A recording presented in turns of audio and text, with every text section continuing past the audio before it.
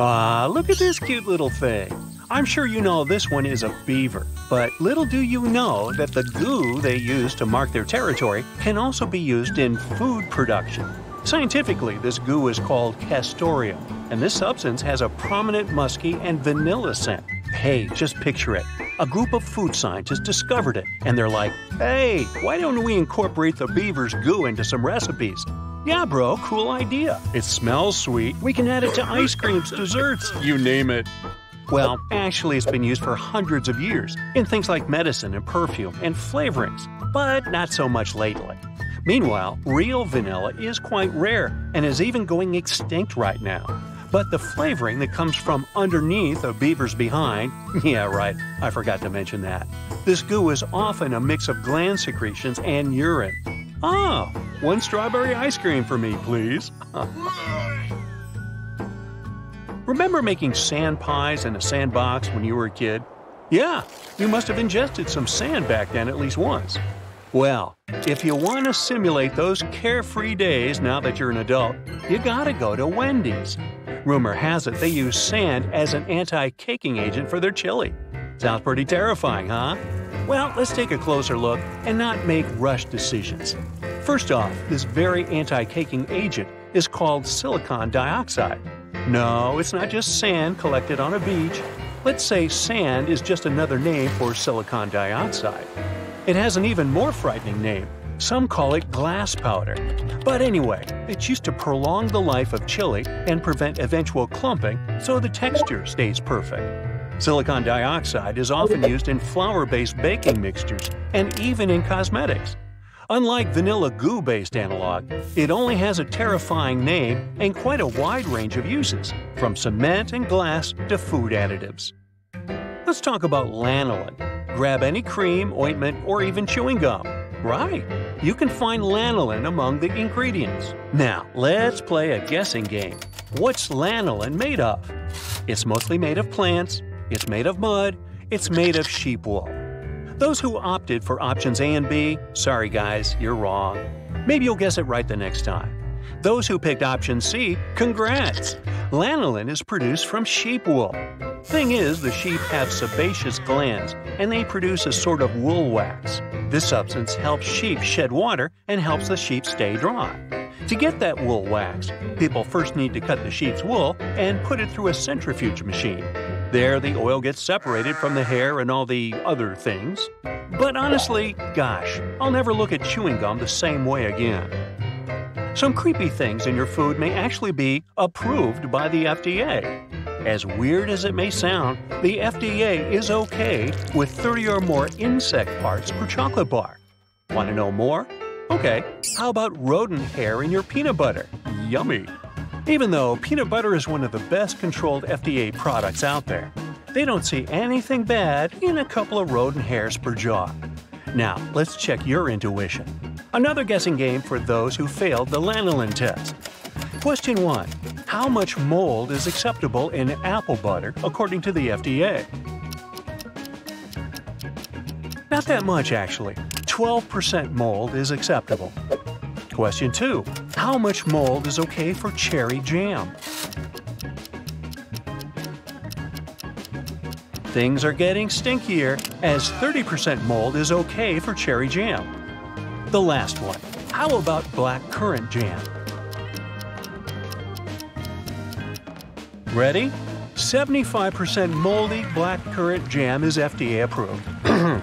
I don't think I'm going to eat peanut butter with jam ever again. Now imagine you suddenly notice a fly in your drink. Is it doing the backstroke? No, really. Will you finish the glass or pour another one? Well, it depends on the gender of the fly. If you get a female fly in your drink, a couple of minutes later, the taste will get funky. If a male fly wants to take a bath in your glass, it won't ruin the drink. Thing is, the female flies have certain pheromones that are in charge of that funky smell. Even if you fish the fly out instantly, the drink can still lose its original taste, as even one nanogram of pheromone is enough. But since you probably won't be able to tell the fly's gender, you probably want to pour a new glass. Yeah, a fly in your stomach won't do anything bad to you, but it's sort of gross. Hmm.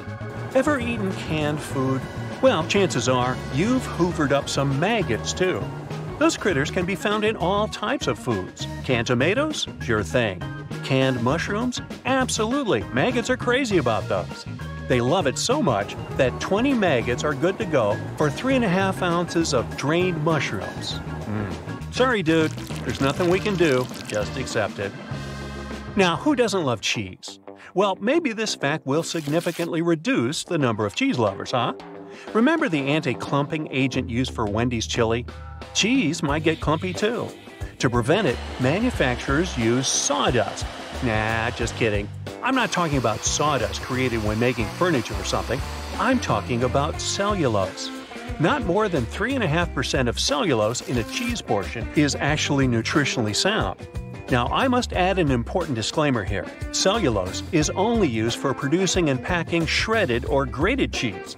So, if you buy a lump of cheese and grate it at home, it'll be cellulose free.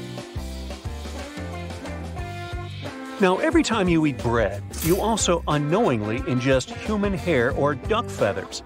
Well, everything is pretty clear with human hair, like it may accidentally get in there in a bakery, even if it actually should never happen. Things can't be that easily explained when it comes to duck feathers. In reality, when I say you ingest human hair, I mean not something you expected. To mass produce bread, manufacturers often use dough conditioners, this ingredient helps soften the dough, so the whole process of baking gets much smoother. Dough conditioners contain an amino acid called L-cysteine. You've already guessed it, haven't you? Yep, L-cysteine is made of either human hair or duck feathers. About 80% of all L-cysteine is made of human hair. However, McDonald's uses the one made with duck feathers. Eh, sounds daffy to me. Still, every time you enjoy baked hot apple pie or a warm cinnamon roll there, you kinda munch on duck feathers. Okay, what's in common between potato chips and detergent?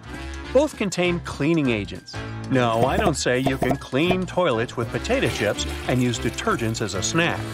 But both products have sodium bisulfite in them. In reality, it's quite an innocent ingredient. It has many applications. With its help, people make paper and leather. It can be used for dye production, and it's a great food preservative. Snacks often have it among the ingredients as it extends shelf life. Also, it makes the chips appear more appetizing since it prevents discoloration. Whenever you eat jello, you may also be eating pork at the very same moment. The thing is, you need collagen to produce gelatin, and manufacturers most often use the pigskin for this purpose. However, there's a large variety of vegan jello on the market today. Agar agar is an alternative to gelatin, and it can actually completely replace it. It's 100% plant-based and made from seaweed. If we could time travel, and somehow you got back in time, you'd be surprised if you ordered french fries with ketchup. The ketchup we're used to eating today is such a modified version that actually has nothing to do with the original ketchup recipe. There were many variations, and there are a couple of theories about the etymology of the word ketchup. I'm going to tell you about one of them. Stop me if you've heard this one. Some scientists believe that ketchup originated in China, and the Chinese mixed pickled fish and spices, calling it ketchup, which means the brine of pickled fish. The first, more or less modern version appeared in 1817, and it contained anchovies. By the 1850s, the anchovies disappeared from the recipe. So, go fish. That's it for today. So hey, if you pacified your curiosity, then give the video a like and share it with your friends. Or if you want more, just click on these videos and stay on the bright side.